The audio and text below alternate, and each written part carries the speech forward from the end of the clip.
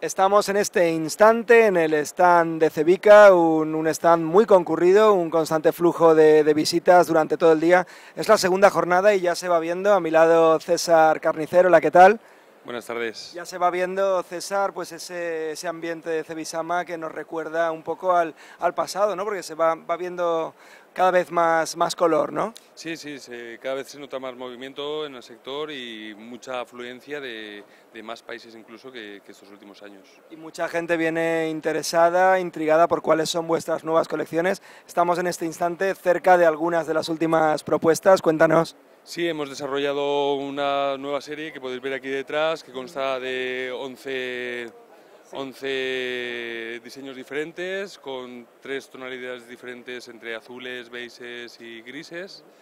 Eh, está coordinada con un pavimento porcelánico en 15x15, también clase 2 antideslizamiento y cada vez nos estamos especializando más en todo lo que es el contract, eh, sacando más productos específicos o eh, adecuados a la demanda de este canal, del canal prescriptor.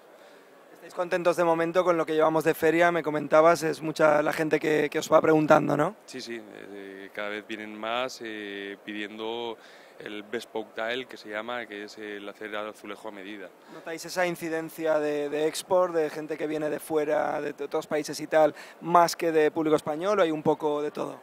Hay un poco de todo, el mercado español se está recuperando y cada vez más eh, las tiendas se están especializando más, incorporando en sus propias plantillas a diseñadores con gusto para poder desarrollar, eh, digamos, proyectos integrales. Tenemos a espaldas de César también otra de las, de las colecciones interesantes. Sí, es una nueva serie que ha salido muy estilizada, es la serie Rustic, que es un formato en 5x25, la cual son unos colores muy suaves y muy fácilmente combinables. Además, César, que vuestras instalaciones también están en, en continua actualización y estáis preparando también eh, pues esa, esa, reforma, esa expansión de, de, las instalaciones. Sí, bueno, más que expansión ha sido...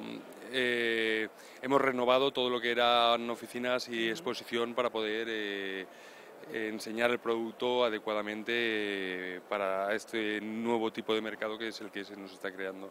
Bueno, pues desde luego, como decimos, Tevica, un lujo poder estar aquí. Hay muchísima gente que se va interesando por las novedades. No dejáis de crecer y, y, evolucionar, o sea que felicidades también por esa parte. Y algunas cosas que hemos comentado fuera de micro, grandes exclusivas que todavía no podemos detallar, Exacto. pero ya, ya iremos contando. Perfecto. Gracias, César. Venga, muchas gracias.